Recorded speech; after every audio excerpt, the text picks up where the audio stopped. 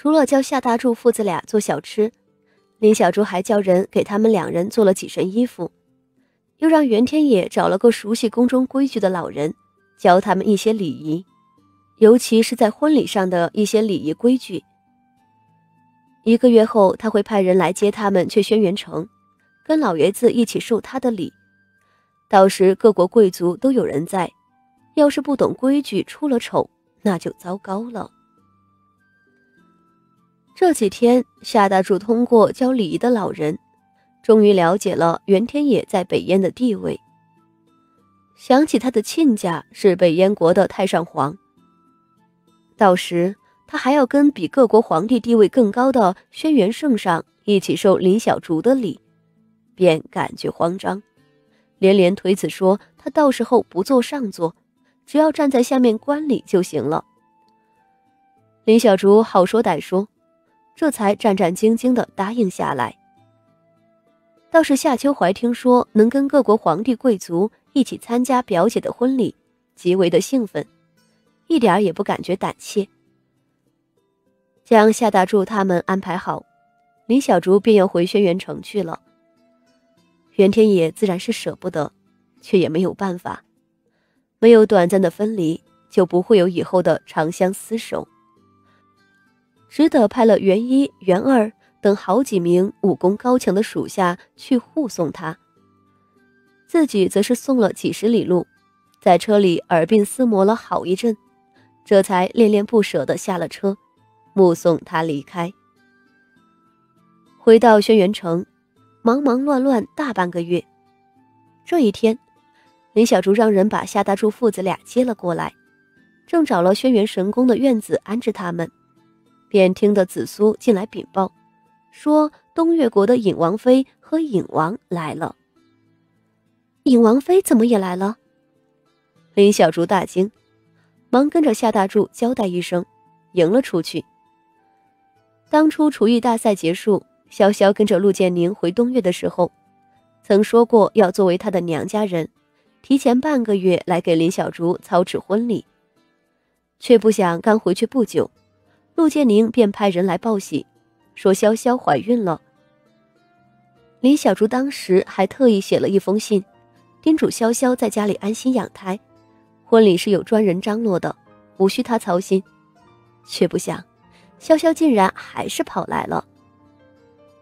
到了大厅，他便见到潇潇和陆建宁坐在那里说话，一脸甜蜜的笑容。看到林小竹进来，潇潇习惯性的站起来，想要扑过来搂住林小竹的胳膊。这个动作让陆建林万分的紧张，紧上几步将她搂进怀里，轻声道：“你慢着点，别急。”我的姑奶奶，你现在可是大熊猫，千万不能再像以前那样胡蹦乱跳了。林小竹也忍不住跟老外婆似的叮嘱：“大熊猫，我现在为什么是大熊猫？”潇潇眨巴着眼，好奇的问：“啊，嗯，这不是重点。”林小竹想起这时候的大熊猫可不是濒危动物，没法跟潇潇解释。赶紧打岔道：“重点是你走路做事得稳当点，你可是要当娘的人了。”说到这里，他想起潇潇不听他的话，竟然一路颠簸着乘车到这里，不由得沉下脸来，瞪着他，道：“不是说了让你在家好好休息吗？我陈完清有空自然会去看你的。你看看，一点也不听话，这么远的路也跑了来。”要是出了个什么意外，你想叫我一辈子心里不安呐？又责怪的看了陆建宁一眼，你也是由得他胡来。陆建宁苦笑一下，我能管得了他就好了。潇潇谁也不怕，就怕林小竹。见林小竹沉了脸，缩了缩脖子，小声的强辩道。我这不是没有事吗？而且我什么反应都没有，吃得好，睡得香，精神好得很。就因为大夫说怀孕，简宁就把我关在家里，哪儿都不能去，什么都不能做，我闷得实在是慌。又走上前来，摇一摇林小竹的胳膊，讨好的道：“小竹呀，好小竹，你不知道，我虽然有几个姐妹，但因为不同母的缘故，彼此只有敌视和猜疑。在这个世界上，我就只有你一个好朋友了，你就是我的亲妹妹。现在你成亲，我这个做姐姐的都不来，那我这一辈子岂不是都不会安心呐？是不是啊？”林小竹被潇潇说的，心里一阵的感动。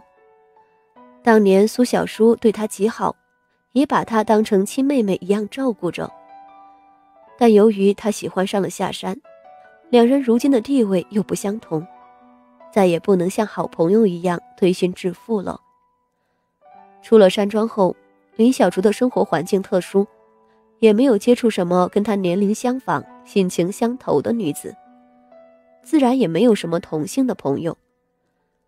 当初他跟潇潇相识，还以为彼此只是过客，以后再不会有什么交集，却不想命运如此神奇，两人会在东岳那陌生的国度里相遇，最后相互挟持，彼此相依，终成了好朋友、好姐妹。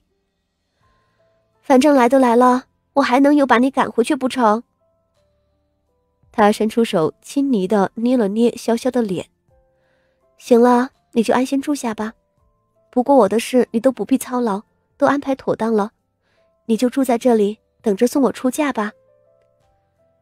他转过头去吩咐云山：“尹王和尹王妃就住在荷香院吧，你去看着他们收拾，务必要布置的舒适一些，检查一下，不能有一丁点儿对孕妇不好的东西。”是。云山领命而去。潇潇听了还没有什么，陆建宁却是极为的不安。嗯我们住在轩辕圣宫里面，扰了圣上不好吧？算了，我们还是另找一个小院子住就好了。相处了一段日子，林小竹知道老爷子在生活上是一个极随意的人，而且因为孤独了一辈子的缘故，更喜欢热闹。再说了，潇潇是他的义姐，住在这里送她出嫁，在名义上是说得过去的。就像他的舅舅以一介平民的身份也住在轩辕圣宫一样。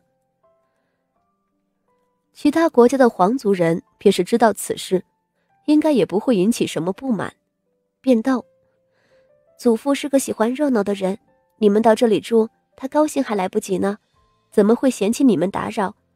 你们也看到了，这圣宫建在山上，台阶也有一两百级。潇潇住在山下，想要来陪我很不方便的，还是住在这里的好。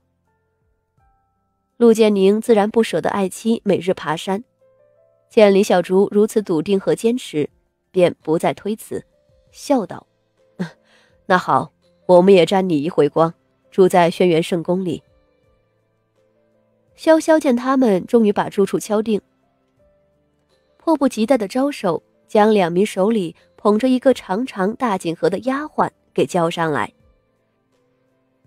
潇潇将锦盒打开，眼睛亮亮的对林小竹道：“小竹，你看，这是我给你的天装。”林小竹走过去一看，里面却是一株高达数尺的红珊瑚。